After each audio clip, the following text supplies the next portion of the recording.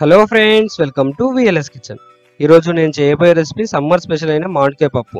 మనకు సమ్మర్ వచ్చిందంటే పప్పు వేయాలనుకుంటే ఖచ్చితంగా మామిడికాయలు గుర్తొస్తాయండి. ఎందుకంటే పుల్ల పుల్లగా కమ్మ కమ్మ చాలా టేస్ట్గా మనం మామిడికాయ పప్పును వేసుకోవచ్చు. కొన్ని చోట్ల ఉగాది పండుగకి మామిడికాయ పప్పును వేసుకుంటారండి. మీరు వేసుకుంటే ఒకసారి ట్రై చేసి చూడండి ఖచ్చితంగా. మీరు కనుక మా ఛానల్ని ఫస్ట్ టైం చూస్తున్నట్లయితే మరిన్ని లేటెస్ట్ వీడియో కోసం క్రింద ఉన్న సబ్స్క్రైబ్ బటన్ని క్లిక్ చేయండి.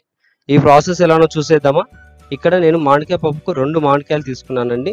ఈ మామిడికాయలు శుభ్రంగా కడిగేసి మనం పైన ఉన్న పొట్టును మొత్తం ఇలా పీల్ చేసుకోవాలి. ఇలా పైన ఉన్న తొక్క మొత్తం తీసేయడం వల్ల మనకు మామిడికాయలు అనేది చాలా ఈజీగా ఉడుకుతాయండి. చూడండి మనం ఈ విధంగా తీసేసుకుంటే సరిపోతుంది. నేను ఇక్కడ ఈ రెసిపీకి రెండు మామిడికాయలు తీసుకున్నాను. ఇలా తొక్క మొత్తం తీసేసిన తర్వాత ఈ విధంగా ముక్కలు కట్ చేసుకోవాలి. మనం ఈ సైజులో కట్ చేసుకుంటే సరిపోతుందండి. చిన్నగా కట్ చేసుకుంటే మనకు ఎక్కువ ఉడికిపోతాయి కాబట్టి కొద్దిగా మీడియం సైజులో కట్ చేసుకుంటే మనకు మామిడికాయ పప్పు తినేటప్పుడు బాగుంటుంది. ఇప్పుడు ఒక కుక్కర్ ప్యాన్ తీసుకొని అందులో ఒక కప్పు కందిపప్పుని యాడ్ చేసుకోవాలి. వీటిలో కొన్ని వాటర్ వేసి శుభ్రంగా కడుక్కోవాలి. ఇలా రెండు సార్లు నుంచి మూడు సార్లు కడుక్కొని వాటర్ అనేది మనం రిమూవ్ చేసుకోవాలి.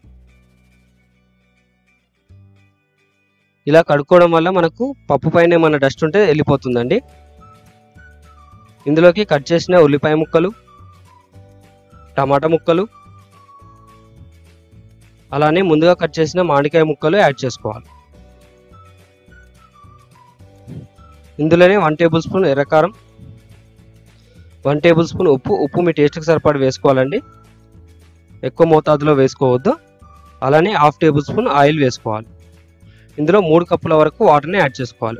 ఒక కప్పు పప్పుకి మూడు కప్పుల వాటర్ని యాడ్ చేసుకోవాలండి. అప్పుడే మీకు తగిన కన్సిస్టెన్సీలో వస్తుంది. వీటిని మొత్తం కలిసేలాగా ఈ విధంగా కలుపుకోవాలి. ఇలా కలుపుకున్న తర్వాత దీనిపైన కుక్కర్ మూత పెట్టేసి మూడు విజిల్స్ వచ్చేంత వరకు మీడియం ఫ్లేమ్లో ఉడికించుకోవాలి. మూడు విజిల్స్ వచ్చిన తర్వాత ఒకసారి మూత తీసి చూసుకోవాలి. ఇలా మనం మొత్తం మ్యాష్ చేసుకోవాలి. ఇలా చేసుకోవడం వల్ల మనకు పప్పు అనేది చిక్కదనం వస్తుంది. ఈ విధంగా చేసుకుంటే సరిపోతుందండి. ఇలా చేసుకున్న తర్వాత దీనిని పక్కన పెట్టుకోవాలి.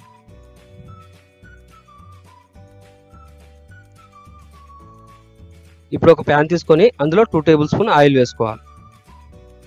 ఆయిల్ వేడైన తర్వాత కొద్దిగా ఆవాలు కొద్దిగా జీలకర్ర వేసి వేయించుకోవాలి.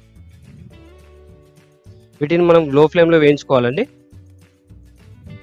ఇలా వేయించుకున్న తర్వాత కొద్దిగా శనగపప్పు మినపప్పు వేసి వేయించుకోవాలి. ఇందులోనే కట్ చేసి పెట్టిన పచ్చిమిర్చి ముక్కలు ఎండుమిర్చి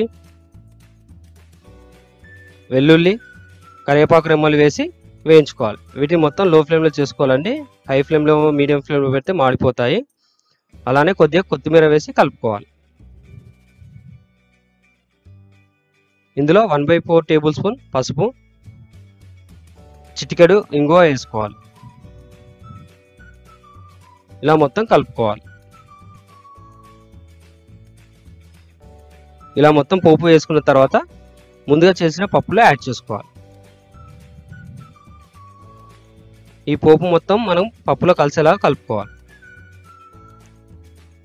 ఇలా మొత్తం కలుపుకుంటే సరిపోతుందండి. అంతే అండి. ఎంతో టేస్టీగా పుల్ల పుల్లగా వేడివేడిగా మామిడికాయ పప్పు రెడీ. మీరు కూడా ఈ రెసిపీని ట్రై చేసి తిని ఎలా వచ్చిందో కామెంట్ రూపంలో తెలియజేయండి మీకు గనక ఈ వీడియో నచ్చినట్లయితే లైక్ చేసి మీ ఫ్రెండ్స్కి షేర్ చేయండి. మరిన్ని లేటెస్ట్ వీడియోల కోసం మా ఛానల్ని సబ్స్క్రైబ్ చేయండి. Thanks for watching the video.